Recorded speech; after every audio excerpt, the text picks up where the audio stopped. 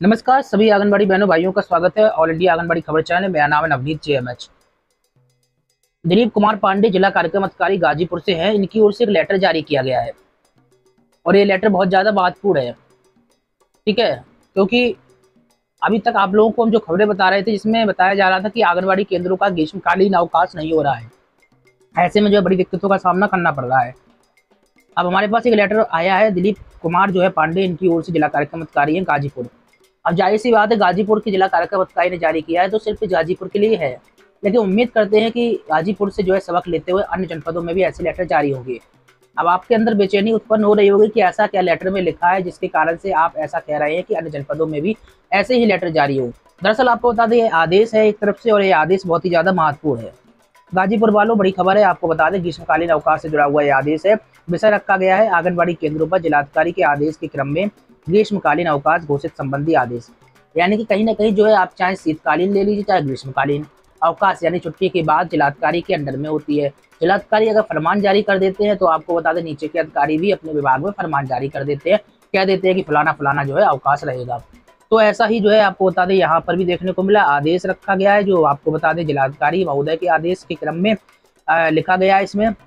दिलीप कुमार पांडे के द्वारा इन्होंने लिखा है कि जो जिलाधिकारी के आदेश पर 16 मई 2023 के क्रम में जनपद के समस्त जो है, आपको बता दें, आंगनबाड़ी केंद्रों को तेज धूप एवं गर्मी के प्रकोप को देखते हुए 17 मई 2023 से अग्रिम आदेश तक तत्काल बंद किया गया है। तो बड़ी खबर है, आंगनबाड़ी केंद्रों को भी बंद किया गया है। कल हमने इसी बात को लेकर मुद्दा उठाया था और लगातार दो तीन दिन से हम इस बात को लेकर मुद्दा उठा रहे हैं।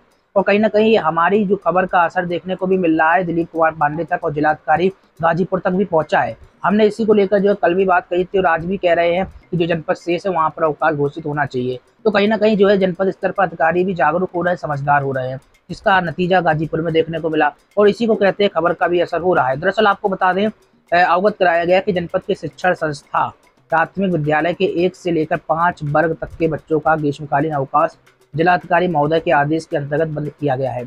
आगे डीपीओ ने लिखा है आंगनबाड़ी केंद्र प्राथमिक विद्यालय सहित अन्य शासकीय अर्धशासकीय भवनों में संचालित हो रहे हैं। आंगनबाड़ी केंद्रों में आने वाले बच्चे प्राथमिक विद्यालय से भी छोटे और आपको बता दें मासूम होते हैं एवं वहाँ आपको इसी के साथ ही बता दें गर्मी से बचाव हेतु तो कोई साधन उपलब्ध नहीं है।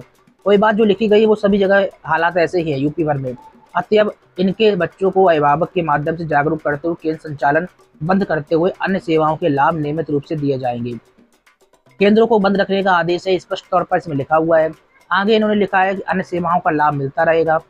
अतः आंगनबाड़ी केंद्रों पर उपस्थित होने वाले तीन से छह वर्ष के लाभार्थी बच्चों को भी तेज धूप एवं गर्मी से बचाने के लिए सभी आंगनबाड़ी केंद्रों पर 17 मई 2023 से ग्रीष्मकालीन अवकाश जिलाधिकारी महोदया के आदेश के क्रम में आंगनबाड़ी केंद्रों के बच्चों हेतु जो है अवकाश घोषित किया जाता है।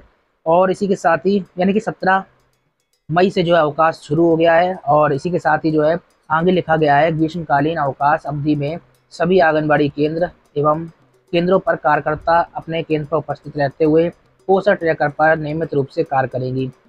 यानी कि बच्चों के लिए छुट्टी कर दी गई है। थोड़ा सा भेदभाव देखने को मिला है। भेदभाव यही है कि आंगनबाड़ी कार्यकर्ताओं को उपस्थित रहकर पोषण ट्रैकर पर काम करना पड़ेगा।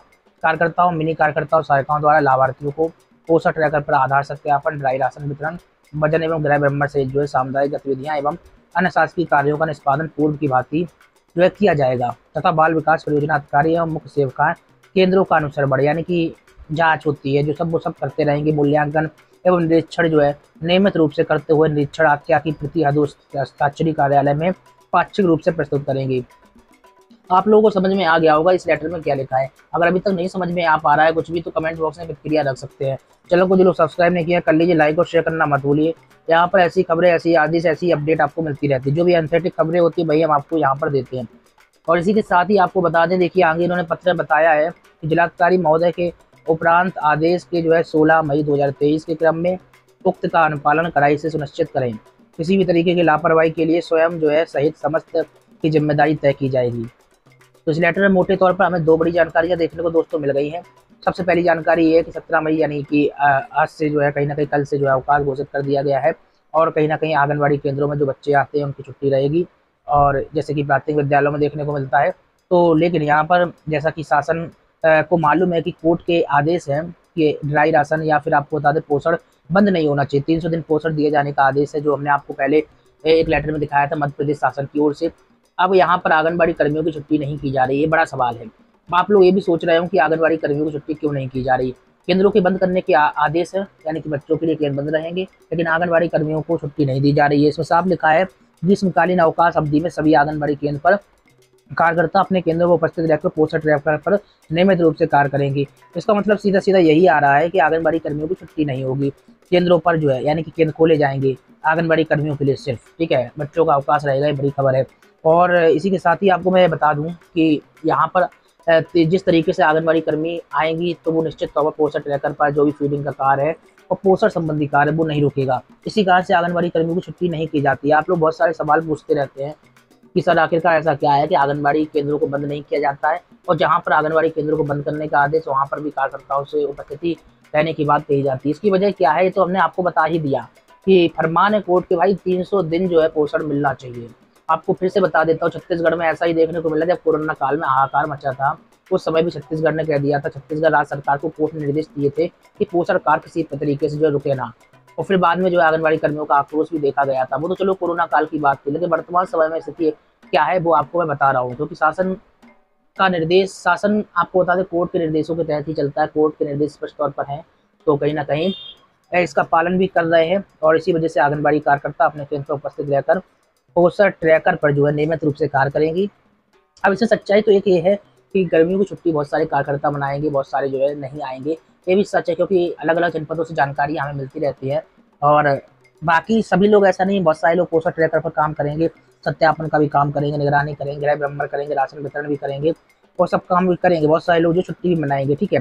लेकिन सच्चाई ये है कि बहुत सारे लोग काम करते हैं, इसी वजह से जो है ये व्यवस्था जो है दुरुस्त हो रही है, सब कुछ चल रहा है, अन्यथा की स्थिति में जो है सब कुछ ध्वस्त हो जाता। तो बड़ी अच्छी खबर निकल कर आई है कि भाई कहीं ना कहीं अवकाश की खबर आई है। और तीन से छह वर्ष के लाभार्थी बच्चों को तेज धूप से बचाने के लिए आंगनबाड़ी केंद्रों पर सत्रह मई से ग्रीष्मकालीन अवकाश जिलाधिकारी गाजीपुर के आदेश के क्रम में जो है आंगनबाड़ी केंद्रों के बच्चों हेतु घोषित कर दिया गया ये बड़ी और मोटी लाइन है। इस बात को याद रखिए। तो गाजीपुर वालों, खुशखबरी है और कहीं ना कहीं अन्य जनपदों से भी हमें बहुत जल्दी ऐसे लेटर प्राप्त होने वाले हैं।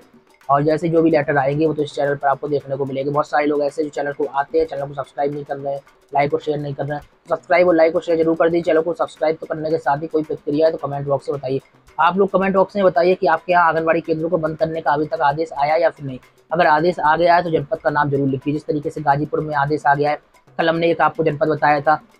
जिस भी जनपद में आदेश आ चुका है, कमेंट बॉक्स में जनपद का नाम मेंशन ज़रूर कर दे। आज के लिए बस इतना ही रखते हैं। नमस्कार।